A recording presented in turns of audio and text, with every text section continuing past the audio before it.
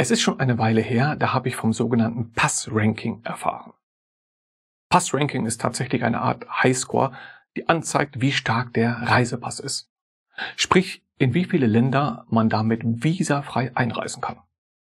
Deutschland liegt dabei auf Rang 2 mit 190 Ländern, in die man ohne Visum einreisen kann, nur knapp hinter Singapur mit 192 Ländern. Das macht den deutschen Pass verständlicherweise heiß begehrt und wer schon lange in Deutschland lebt, der spielt sicher irgendwann auch mal mit dem Gedanken, das Tor zu 190 Ländern zu öffnen. Dafür muss man sich einbürgern lassen, was in Deutschland auch durchaus möglich ist. Nun muss man sich für eine erfolgreiche Einbürgerung zum deutschen Grundgesetz bekennen. Und na, da schaudert es dem einen oder anderen unserer Geschwister erst einmal. Zumindest bekomme ich den Eindruck, wenn ich manchmal die eine oder andere Frage lese. Bekenntnis zum deutschen Grundgesetz? Hm. Ich bekenne mich doch schon zum Islam. Das reicht mir doch als Religion. Jetzt noch zum Grundgesetz bekomme ich jetzt etwa noch eine Religion dazu. Ist das überhaupt miteinander vereinbar?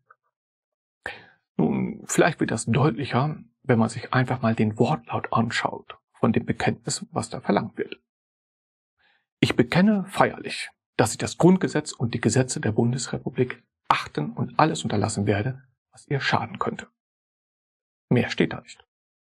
Ich achte das Grundgesetz und die Gesetze des Landes und füge dem Land keinen Schaden zu. Das sind tatsächlich Dinge, die für einen Muslim gelten, wenn er dieses Land betritt, auch ohne Einbürgerung. Muslime haben zu allen Zeiten andere Länder betreten. Früher oftmals als Händler, seltener als Touristen oder um dort zu studieren. Und das bloße Betreten des Landes und die Bereitschaft des Gastlandes, dich auch einreisen zu lassen.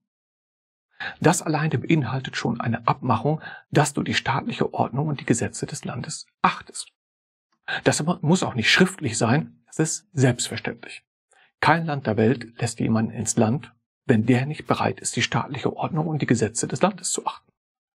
Was nichts anderes heißt, als zu bekennen, dass ich das Grundgesetz und die Gesetze der Bundesrepublik achte und alles unterlassen werde, was ihr schaden könnte. Ich bin zwar kein Gast in diesem Land, aber ich würde das Haar genauso auch unterschreiben. Ähnlich verhält es sich auch mit der sogenannten Loyalitätsbekundung bei der Einbürgerung, die einfach aussagt, dass man keine Bestrebungen verfolgt, die staatliche Ordnung zu beseitigen. Und selbstverständlich bürgert ein Land niemanden ein, wenn er vorhat, die staatliche Ordnung zu beseitigen. Und auch das würde ich als Nicht-Gast problemlos unterschreiben, auch wenn ich schon in 190 Länder einreisen kann. All diese Dinge werden manchmal größer gemacht, als sie sind. Es sind eigentlich Selbstverständlichkeiten. Jedem ist selber überlassen, ob er das machen möchte oder nicht. Nur wenn wir schon über diese Dinge reden, dann sollten wir auch genau hinschauen, worum es dabei überhaupt geht. Inhaltlich. Und uns nicht von Floskeln blenden lassen, aus denen wir in der Vorstellung, wer weiß was machen, die aber bei genauerer Betrachtung selbstverständlich sind. Wer setzt sich für dich ein, wenn du diskriminiert wirst? Wir tun das. Und wir können das, weil wir Mitglieder haben. Und deswegen werde auch du Mitglied, damit wir dir helfen können. Link ist in der Videobeschreibung. Draufklicken, es dauert keine zwei Minuten und Kinder kostenfrei mit anmelden.